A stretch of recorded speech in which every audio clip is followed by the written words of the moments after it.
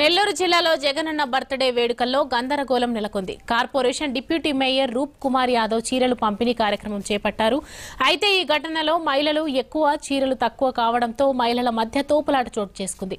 చీరలు ఇస్తామని పిలిచి మాలో మాకు గొడవలు పెడతారా అంటూ మహిళలు తీవ్ర స్థాయిలో ఆగ్రహం వ్యక్తం చేశారు.